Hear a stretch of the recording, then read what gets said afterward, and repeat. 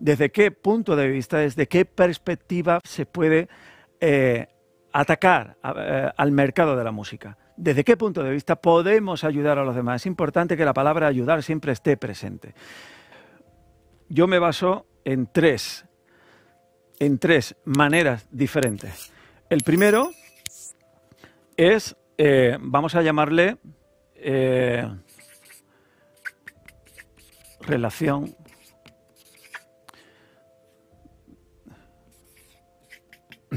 de largo recorrido.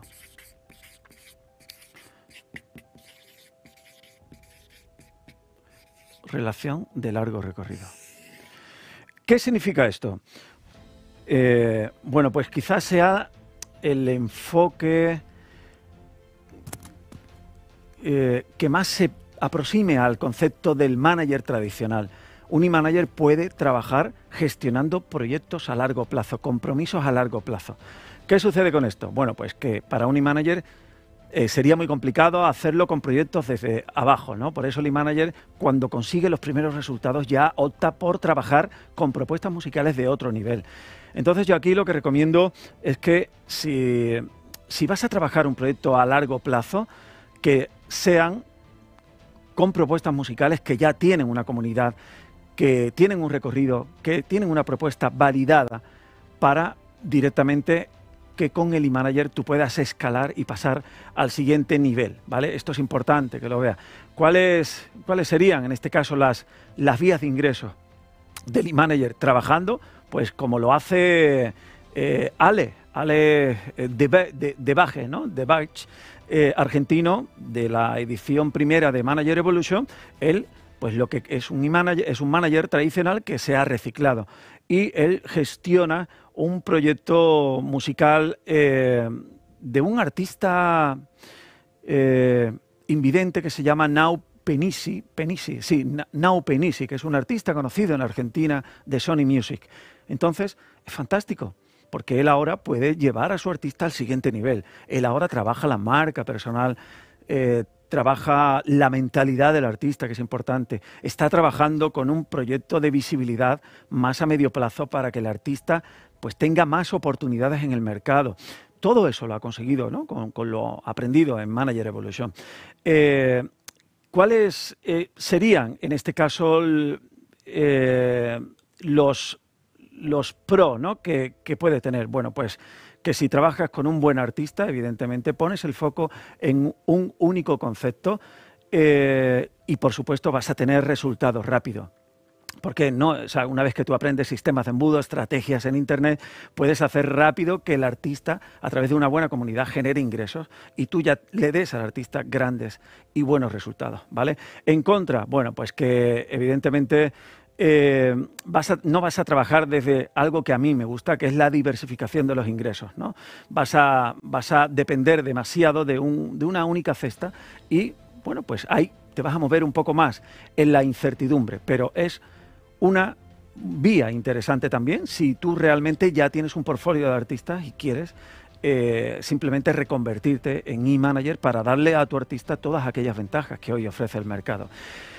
Eh, el nivel de penetración de esta opción es bajo para un e-manager que comienza, porque lo primero que tiene que hacer el e-manager, a no ser que tú ya tengas, como bien he dicho antes, una agencia con artistas, que siempre, bueno, pues puede ser una opción, pero si comienzas como e-manager, lo primero que tienes que hacer es conseguir resultados, ¿vale? Y a partir de ahí luego vas a optar y vas a poder trabajar, si quieres, a largo plazo y depender únicamente de un artista. El siguiente modelo sería... Eh,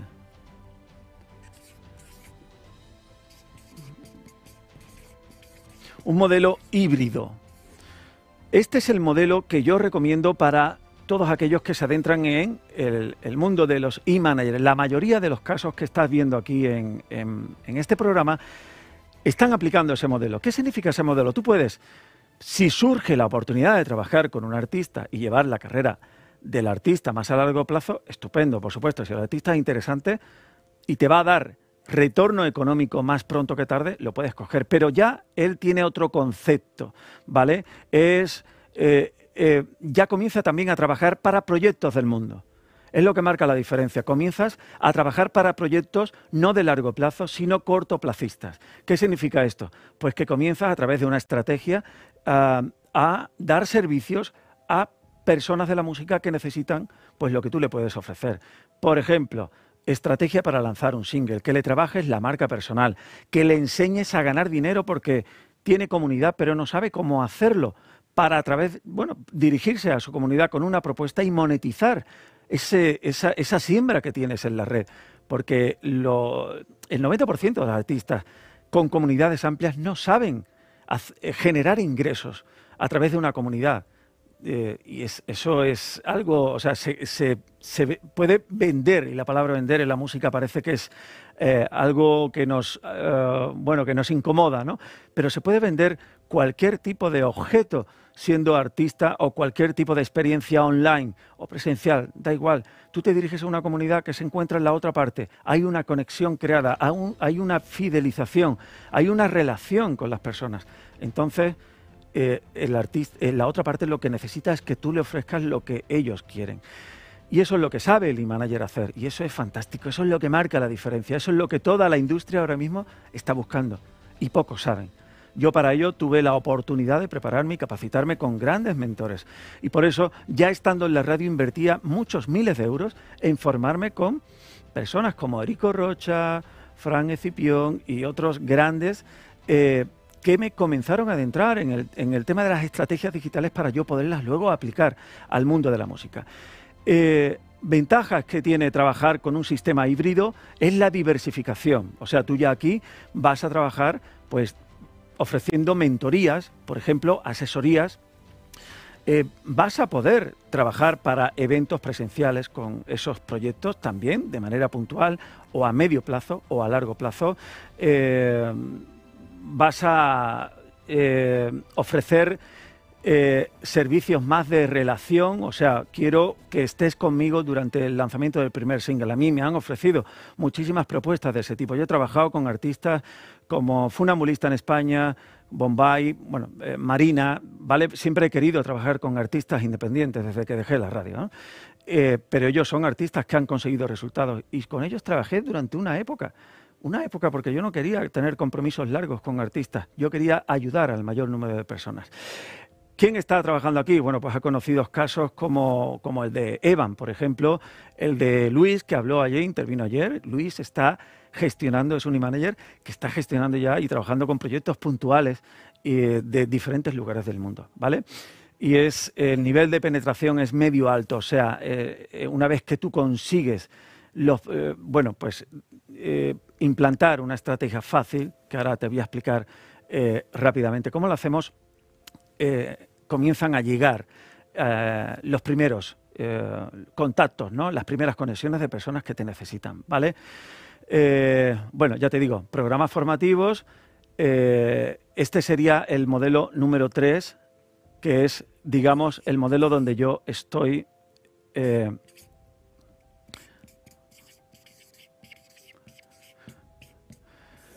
donde yo estoy inmerso. Esto yo lo recomiendo cuando ya tienes un posicionamiento en el mercado. Digamos que el modelo 3 tú puedes absorber al 2 y al 1, ¿vale? Yo podría ahora aparte de lo que hago, de, centrarme en el conocimiento y en la formación, podía también, como lo he hecho, trabajar para proyectos ya de una manera más directa y puntual, ¿vale? Y lo he, estado haciendo hasta hace poco. Eh, y podría también trabajar con algún artista de largo recorrido y llegar a algún tipo de acuerdo sin dejarlo de más. Digamos que es el proyecto donde la diversificación es mayor y donde, por supuesto, si se cae algo, tu modelo de negocio no va a sufrirlo porque vas a tener diferentes maneras de ganar, eh, de, generar, en este caso, ingresos. Eh, si eres artista, si eres artista, esto lo, aplicas a ti, ¿no? O sea, tú tienes que intentar eh, ver cómo hace Kiko Lureiro, que es un artista, o como lo hace Nacho Llantada, que, por ejemplo, tienen su gira con sus grupos en México, en Brasil, bueno, en el caso de Kiko Lureiro por todo el mundo, el caso de Nacho Llantada por, diferentes lugares de América, pero Nacho Llantada y Kiko Lureiro tienen programas formativos porque se dedican a ayudar a los demás con su expertise, con su know-how. Entonces, ahora que nos están dando conciertos, ellos están generando. Por cierto, al final de esta sesión tendremos a otro gran referente. Puede ser Nacho Llantada o no.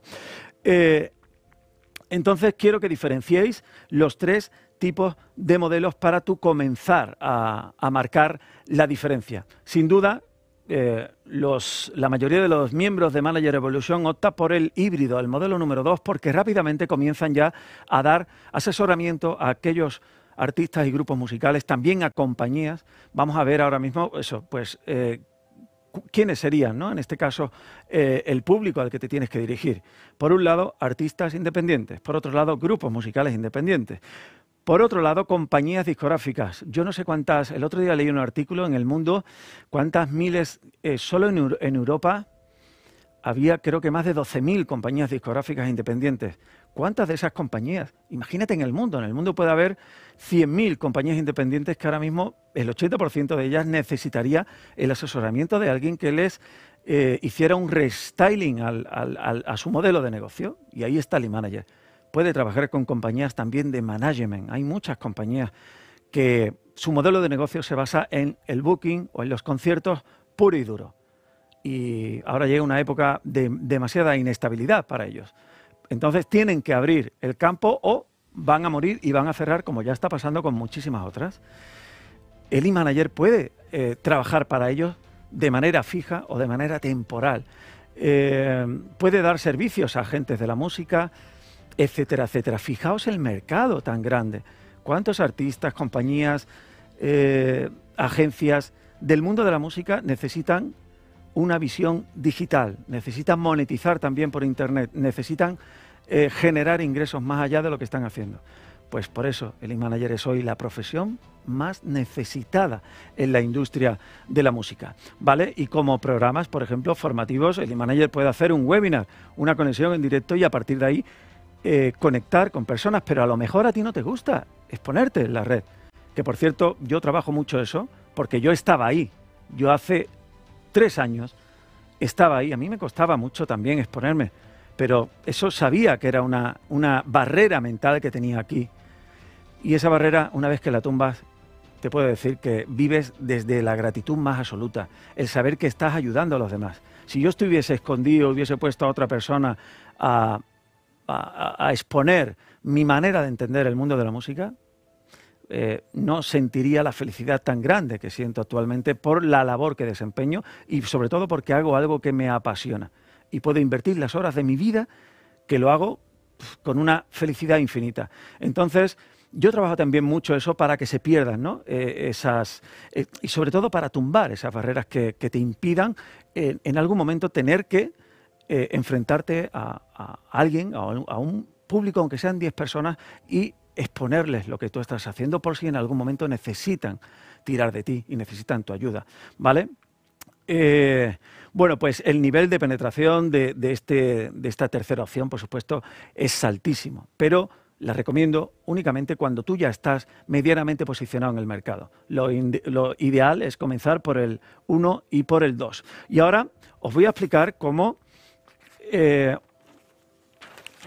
el sistema, un embudo muy sencillo, ya sabéis los que, los que no habéis oído hablar de esta palabra, el, embudo, es el camino que una persona debe hacer para llegar a, ejecutar, digamos, un proceso en Internet. ¿Vale?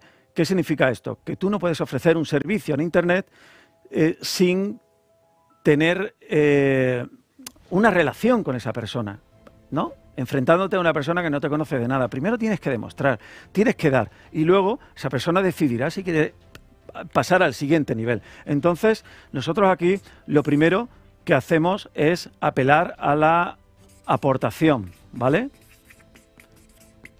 Aportación. Cuando tú ya comienzas a tener conocimiento, debes comenzar rápidamente a aportarlo de alguna manera en los entornos donde tú te sientas más cómodo, más cómoda. Puede ser en las redes sociales, en un podcast, eh, puede ser a través de, un blog, eh, puede ser a través de alguien de tu equipo si lo consideras. Puede ser también opción, no es la que yo recomiendo. Vale, entonces, una vez que aportamos, siempre ofrecemos lo que el CTA, el CTA es un call to action, es una llamada a la acción. Tú estás aportando valor como e-manager y le estás dando fórmulas a los demás para que la apliquen, para, para que le estás dando soluciones, ¿no? Entonces luego eh, siempre detrás de cada una de esas aportaciones hay un call to action y es, oye, si quieres que te ayude más en profundidad, de manera más directa, puedes contactar conmigo aquí, ¿no? Y les mandas con un link a una especie de formulario, ¿vale?